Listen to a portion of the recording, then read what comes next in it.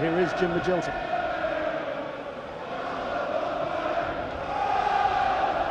Venus now for Ipswich.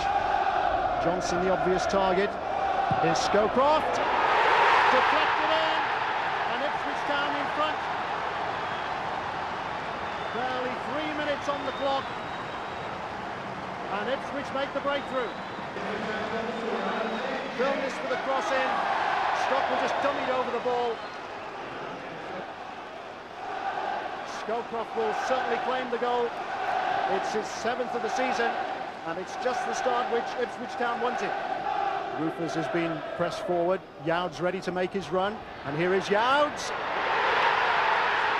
And there's the equalising goal for Charlton Athletic. It's Andy Hunt.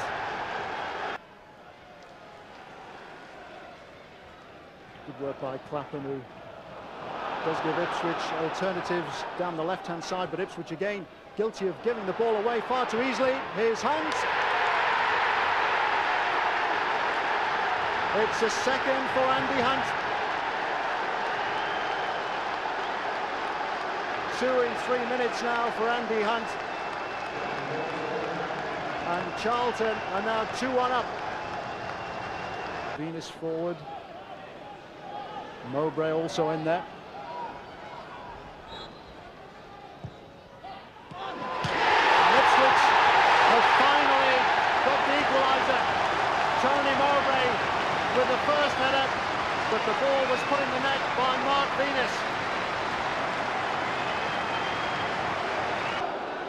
First header by Mowbray, and somehow the ball kept out as Kiely scrambled back to get a hand on it. But Venus with the simplest of tap-ins. It's Venus's third goal of the season, and it's now 2-2.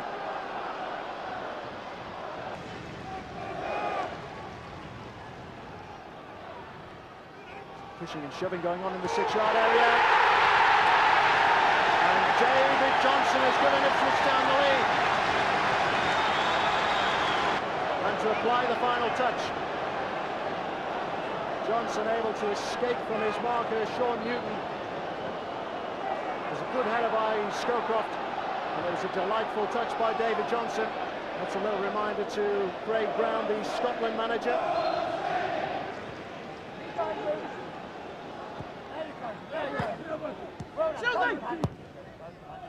On by Venus towards Scowcroft. Now Stockwell, it's Mickey Stockwell! And it's 4-2 Ipswich.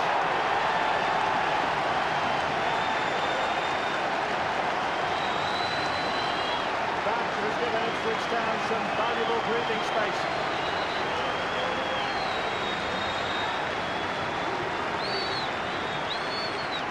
Great work again by Scowcroft who was able to hold off Youds and to release Mickey Stockwell.